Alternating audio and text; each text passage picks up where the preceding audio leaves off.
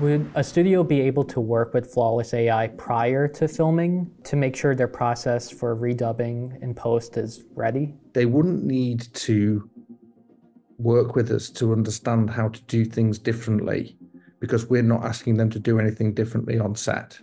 However, what we very strongly believe and already starting to see is that because these products exist, people are starting to behave differently on set, that makes sense. So they're starting to shoot differently and think, I don't need to take that extra shot because I can use this product in post for that.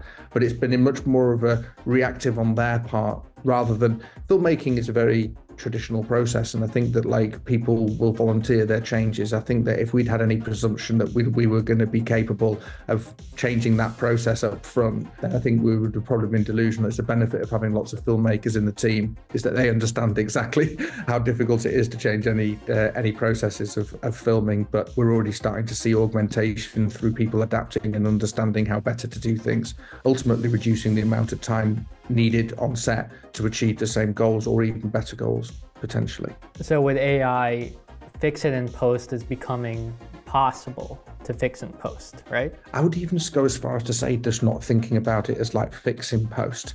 I think that it just becomes part of the editing and creative process where there's tools that have so much more power to enable people to be able to, yes, they can reduce the amount of time potentially spent on set, but not necessarily and but reinvesting that the, the equivalent money in other things. But at the same time, having people having the filmmaker, you know, that includes all of the filmmakers who are involved with the entire process, um, involved in a much more iterative way in post and allowing them to kind of evolve and craft story and edit in a way that's never been possible before.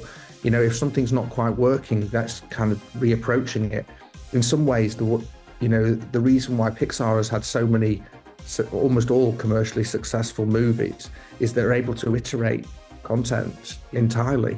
And I think there's just more and more of that iterative power allowing the filmmakers to achieve their original intent is going to come to live action and is already coming to live action, but will come more and more and more.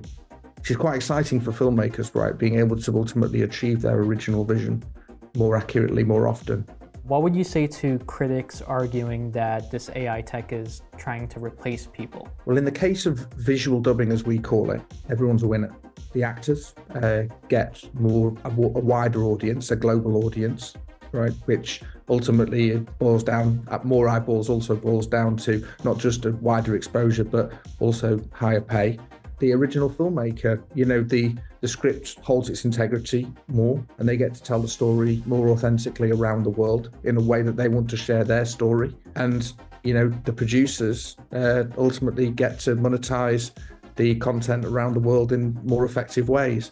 So there is certainly no one losing out as it relates to visual dubbing. And but there's, there's some questions around voice actors. And just for clarity, we use the voices of uh, voice actors to drive the visual change. So, you know, we don't sort of define the direction of things, and there are some people out there doing synthetic voice, and maybe that becomes more part of like the process, but we're not defining that, and that's like for the audio synthesis people to sort of to work out with uh, the guilds and the unions.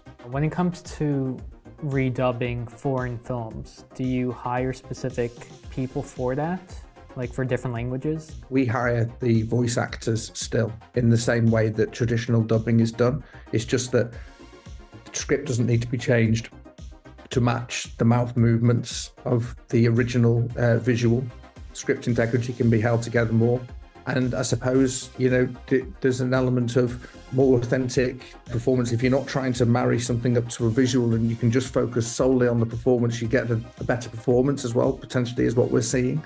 Um, and then you know it's that performance, that audio performance matched with the uh, the better visual, which seems to be the thing that's having the most impact and changing uh, people's attitudes towards this content. Um, in the news, uh, you always see stuff about how Marvel has to reshoot another thing for their movie, and then in, something went wrong and they have to go again. How expensive can reshoots be? Like physically doing the reshoots? It's perfectly normal for five hundred thousand dollars a day. Um, but dependent on the shot and dependent on who's in it and who what has to be cancelled for get people back to the set and then what private jets and cast and crew and light and makeup and what scene what scenes need to be or sets need to be rebuilt you know go into the millions potentially what was the most impressive use of this ai tech that you personally saw we're the only ones who are actually doing anything in the sort of visual space at the professional filmmaking level in as it relates to faces and uh, and and human bodies um, we uh, we've got a lot of time and really like the guys over there at Wonder Dynamics. I think they're doing some really nice things and I think they're also working in the professional filmmaking space. But I think almost everybody else is just working in kind of a consumer environment, which is a completely different challenge. And so they're doing great things there, but we're not focusing too too heavily on that. Sorry,